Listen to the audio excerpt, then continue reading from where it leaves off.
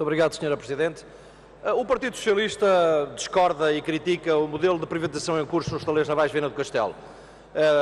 Já aconteceu de uma forma atrasada, pouco clara, confusa, portanto, adiada sucessivamente e sem garantias visíveis de que o processo seja um processo bem sucedido para defender o interesse público e essa é uma questão que nos deve preocupar a todos.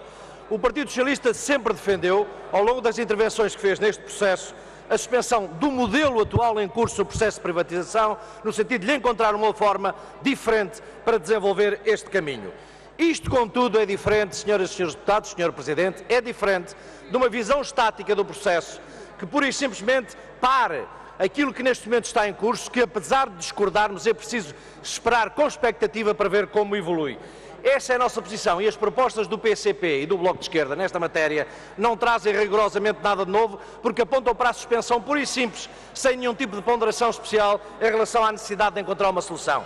Por isso, o que nós, o Partido Socialista disse e defende é que manter tudo na mesma naturalmente é completamente impossível. Isso sim, isso é que é decretar definitivamente a morte dos taleiros navais de Venda do Castelo.